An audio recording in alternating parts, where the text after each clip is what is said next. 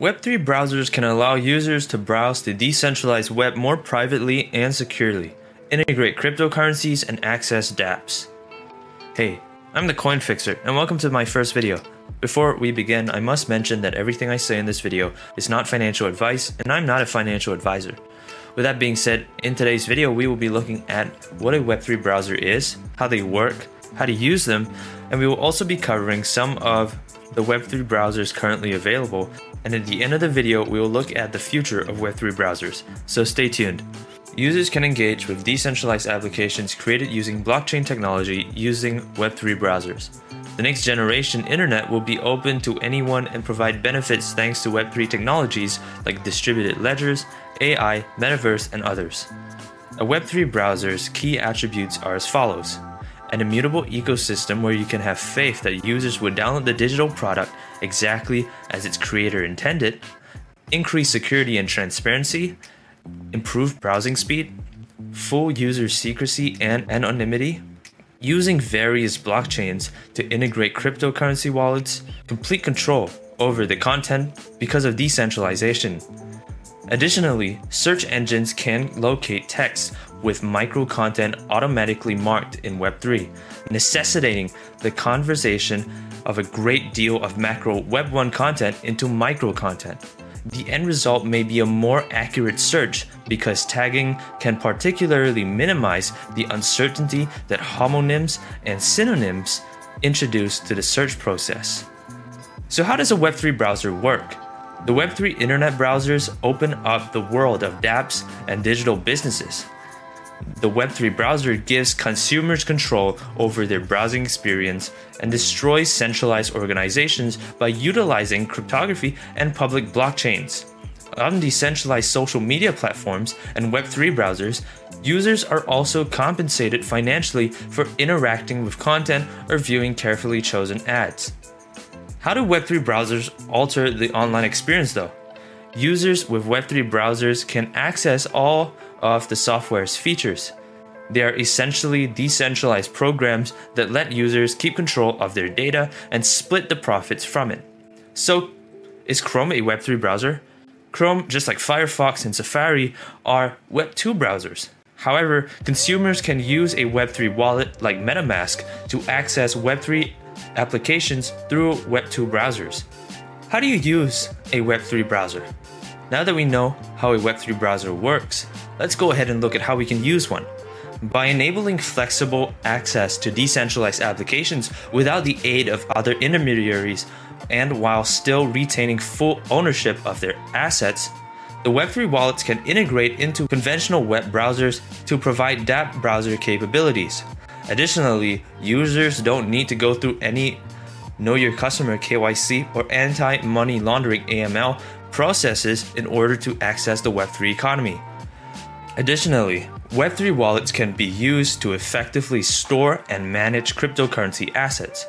Contrary to centralized custodial wallets, one may lose money if they misplace their seed phrase.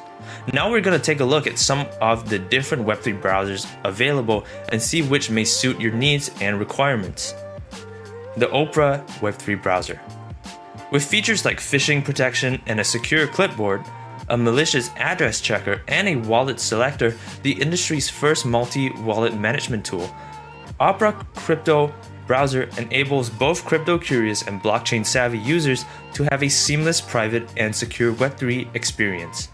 Ether, ERC20 and ERC721 tokens are supported by the built in crypto wallet and several blockchains, which include Ethereum Virtual Machine EVM compatible chains, Bitcoin, and Layer 2 solutions.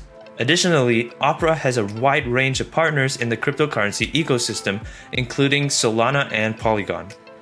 To stay connected with their communities at all times, users can easily access WhatsApp, Telegram, Discord, Twitter, and other social apps from the sidebar of the desktop crypto browser.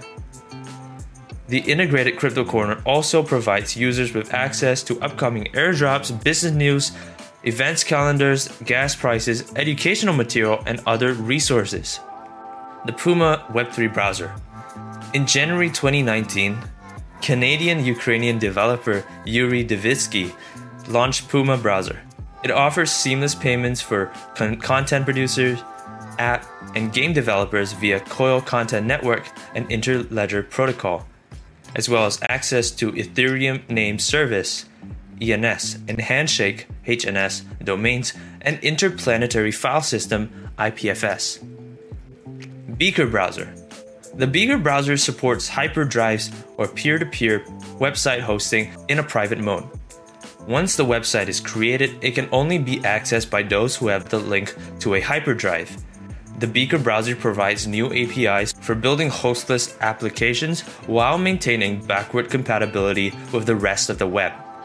Unlike most browsers, which display the page's source code to website visitors, Beaker presents the entire site structure in a GitHub like format. The option to host one's own fork of the website is even better. Brave Web3 Browser Brave is open source software that combines free to use functionality with privacy protecting features.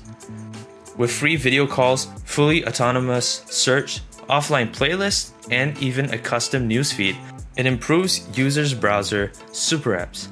Tracker and offensive ads are automatically blocked by Brave on all websites users visit.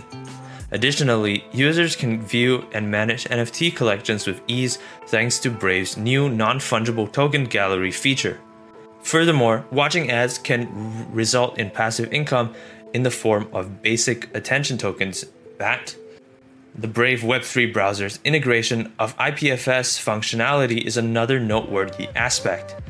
This technology enables built in decentralized file storage and lessens data concentration by dispersing file storage across a global network.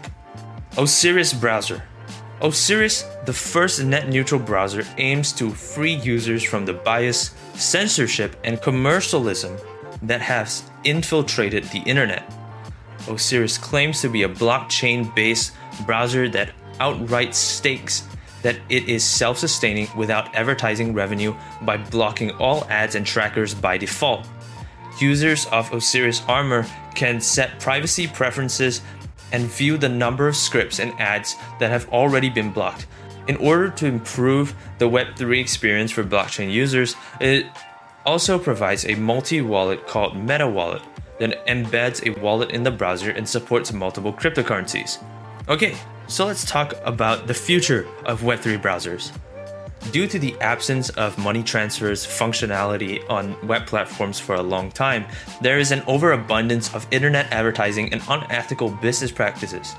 The Semantic Web, Web3, offers opportunities for web monetization for developers, gamers, and content producers because it promises to organize the world's information in a way that Google's search engine architecture cannot.